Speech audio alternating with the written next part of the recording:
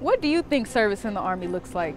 The Army ROTC program at Lincoln University will change the way you think about the Army and the way you think about college. The ROTC program is designed for full-time students who want to focus on their education now and serve their country after graduation. Through our trainings, scholarships, and living stipends, we'll make sure that you excel in the classroom and then be ready to take on a leadership position as an Army officer. You get to choose what you want to study because the Army needs leaders in all types of career fields. Once you have a diploma, you can choose to serve at home in the Army National Guard or the Reserves, or you can pursue an active duty career and serve at duty stations all around the world.